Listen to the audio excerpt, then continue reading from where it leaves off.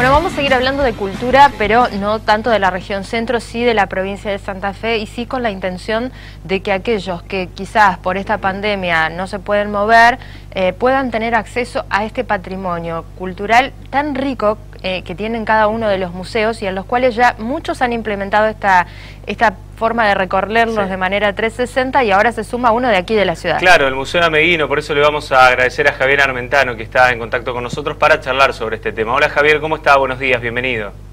¿Qué tal? Buenos días a todos y a todas. Eh, esto es lo que ha traído la pandemia, ¿no? El adaptarse, el adaptar la, la tecnología y acercar eh, estos espacios culturales tal vez a chicos que están eh, en la otra punta de la bota santafesina y que muchas veces se les complicaba venir cuando se podía hacer de manera presencial. Exactamente, ya que, bueno, este programa, este, este recorrido 360 forma parte del programa eh, del Plan Museos para Santa Fe 2021-2023 que arranca precisamente la pandemia y el objetivo es, ya que la, gente no podía concurrir a los espacios culturales, la idea del Ministerio de Cultura es precisamente llevar cada espacio a la casa de la gente. Y así arrancamos con los museos. Tuvimos ya la experiencia del Museo Marc de Rosario, el Museo del Deporte Santafesino, y ahora sumamos el Museo Ameguino y prontamente el 15 de noviembre vamos a estar inaugurando el de Callastá de Santa Fe la Vieja. Así que para nosotros es un, es un gran placer haber inaugurado ayer el del Museo Ameguino. Eh, Javier, ¿cómo es el trabajo previo que se hace para poder llegar a estos recorridos 360? ¿Qué inversión se hubo que hacer para poder diagramar? Obviamente porque tenemos audioguía y tenemos toda la posibilidad de bueno, un recorrido virtual. Bueno, mira, e, es un avance tecnológico muy grande muy grande porque no hay de este tipo de recorridos en casi ningún museo, te diría, del mundo. Probablemente de aquí a cinco años, dado que la tecnología avanza en forma mm, sumamente veloz, esto sea algo natural. Pero eh, en este momento no hay museos que tengan un recorrido 360 con esa tecnología, que tiene audioguías, tiene más de 500 puntos interactivos, tiene trivias para que los chicos y las chicas, y por qué no los adultos también, hagan una especie de competencia acerca de a ver todo lo que han aprendido en el recorrido en el museo y después pueden ir contestando y sumando puntos. Y tiene cuestiones tecnológicas que son a lo mejor muy simples de ver, pero que son muy complejas de realizar.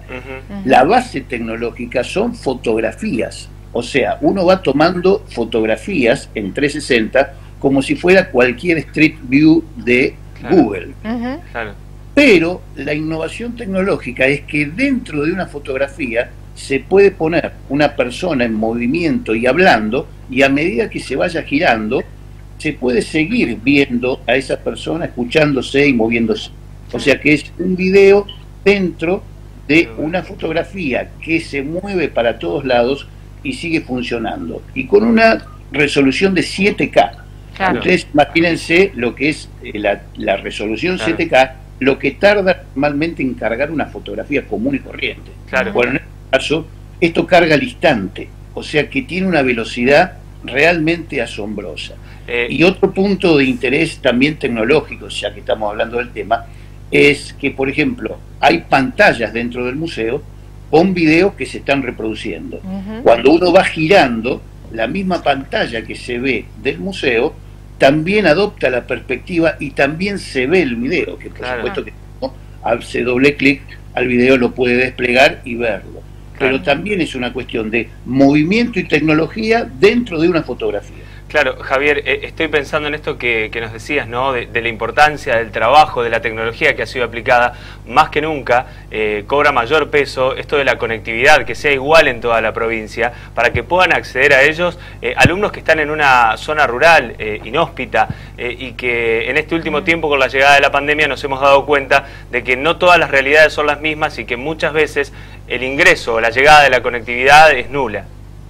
Exactamente, pero eh, hace poquito se pudo lograr de que el plan de conectividad de la provincia haya podido eh, realizar de que en cada escuela haya conectividad. O sea que si no lo puede ver en su casa por un problema de conexión, en las escuelas de toda la provincia ya se puede ver.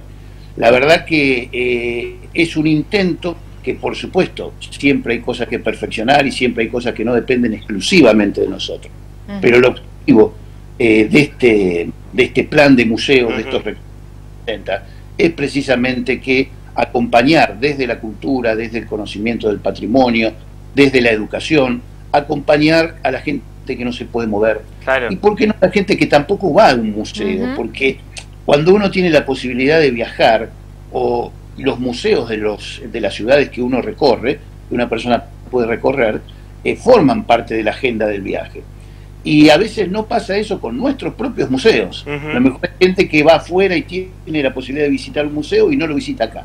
Bueno, ahora ya no, no, no hay excusa, porque en cualquier momento, en cualquier lugar, uno puede mirar desde el teléfono, desde una computadora de escritorio, desde, la, desde el dispositivo que tenga, uno puede mirar este, cualquiera de nuestros museos. Javier, no, perdón, quería consultar cuántos ya son los que tienen este dispositivo 360 y las particularidades que va a tener el que van a habilitar a partir del 15 de noviembre en el Santa Fe La Vieja.